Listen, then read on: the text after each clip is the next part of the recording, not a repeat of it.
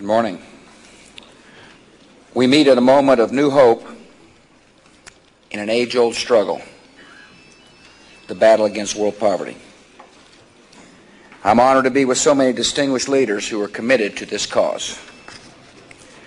I'm here today to reaffirm the commitment of the United States to bring hope and opportunity to the world's poorest people and to call for a new compact for development defined by greater accountability for rich and poor nations alike. I want to thank Vicente Fox, El Presidente de Mexico, and the people of Monterrey for such grand hospitality. I want to thank Kofi Annan for his steadfast leadership. And I want to thank the distinguished leaders here for your hospitality as well. Many here today have devoted their lives to the fight against global poverty. And you know the stakes. We fight against poverty because hope is an answer to terror. We fight against poverty because opportunity is a fundamental right to human dignity. We fight against poverty because faith requires it and conscience demands it. And we fight against poverty with a growing conviction that major progress is, in, is, is within our reach. Yet this progress will require change. For decades, the success of development aid was measured only in the resources spent not the results achieved. Yet pouring money into a failed status quo does little to help the poor and can actually delay the progress of reform. We must accept a higher, more difficult, more promising call. Developed nations have a duty not only to share our wealth, but also to encourage sources that produce wealth, economic freedom, political liberty, the rule of law, and human rights. The lesson of our time is clear. When nations close their markets and opportunity is hoarded by a privileged few, no amount no amount of development aid is ever enough. When nations respect their people, open markets, invest in better health and education, every dollar of aid, every dollar of trade revenue and domestic capital is used more effectively. We must tie greater aid to political and legal and economic reforms. And by insisting on reform, we do the work of compassion. The United States will lead by example. I have proposed a 50% increase in our core development assistance over the next three budget years. Eventually, this will mean a $5 billion annual increase over current levels. These new funds will go into a new Millennium Challenge account devoted to projects in nations that govern justly, invest in their people, and encourage economic freedom. We will promote development from the bottom up, helping citizens find the tools and training and technologies to seize the opportunities of the global economy. I've asked Secretary of State Powell, Secretary Treasury O'Neill, to reach out to the world community to develop clear and concrete objective criterion for the Millennium Challenge account. We'll apply these criterion fairly and rigorously. And to jumpstart this initiative, I'll work with the United States Congress to make resources available over the next 12 months for qualifying countries. Many developing nations are already working hard on the road, and they're on the road of reform and bringing benefits to their people. The new Compact for Development will reward these nations and encourage others to follow their example.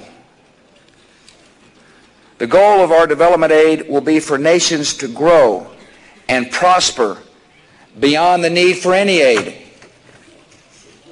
When nations adopt reforms, each dollar of aid attracts $2 of private investments. When aid is linked to good policy, four times as many people are lifted out of poverty compared to old aid practices. All of us here must focus on real benefits to the poor instead of debating arbitrary levels of inputs from the rich. We should invest in better health and build on our efforts to fight AIDS, which threatens to undermine whole societies. We should give more of our aid in the form of grants rather than loans that can never be repaid. The work of development is much broader than development aid. The vast majority of financing for development comes not from aid, but from trade and domestic capital and foreign investment. Developing countries receive approximately $50 billion every year in aid. That is compared to foreign investment of almost $200 billion and annual earnings from exports of $2.4 trillion. So to be serious about fighting poverty, we must be serious about expanding trade. Trade helped nations as diverse as South Korea and Chile and China to replace despair with opportunity for millions of their citizens. Trade brings new technology, new ideas, and new habits and trade brings expectations of freedom and greater access to the markets of wealthy countries has a direct and immediate impact on the economies of developing nations. As one example, in a single year, the African Growth and Opportunity Act has increased African exports to the United States by more than 1,000 percent generated nearly $1 billion in investment, and created thousands of jobs. Yet we have much more to do. Developing nations need greater access to markets of wealthy nations. And we must bring down the high trade barriers between developing nations themselves. The global trade negotiations launched in Doha confront these challenges. The success of these negotiations will bring greater prosperity to rich and middle income and poor nations alike. By one estimate, a new global trade pact could lift 300 million lives out of poverty. When trade advances, there's no question but the fact that poverty retreats. The task of development is urgent and difficult, yet the way is clear. As we plan and act, we must remember the true source of economic progress is the creativity of human beings. Nations' most vital natural resources are found in the minds and skills and enterprise of their citizens. The greatness of a society is achieved by unleashing the greatness of its people. The poor of the world need resources to meet their needs.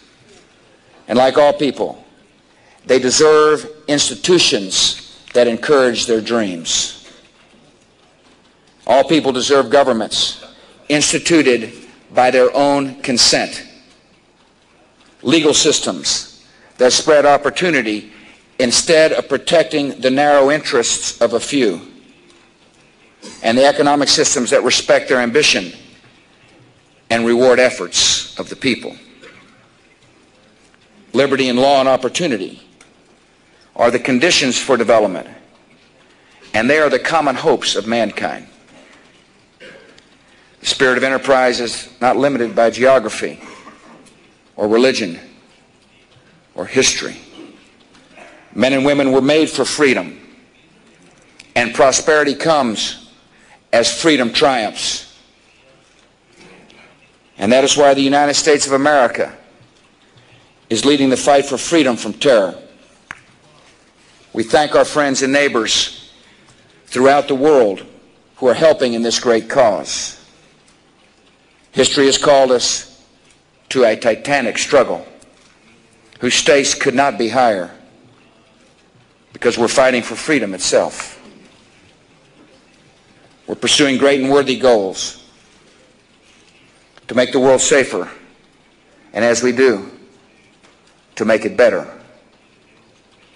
We will challenge the poverty and hopelessness and lack of education and failed governments that too often allow conditions that terrorists can seize and try to turn to their advantage. Our new approach for development places responsibility on developing nations and on all nations. We must build the institutions of freedom, not subsidize the failures of the past. We must do more than just feel good about what we are doing. We must do good. By taking the side of liberty and good government, we will liberate millions from poverty's prison. We will help defeat despair and resentment. We will draw whole nations into an expanding circle of opportunity and enterprise. We will gain true partners in development and add a hopeful new chapter to the history of our times. May God bless you all.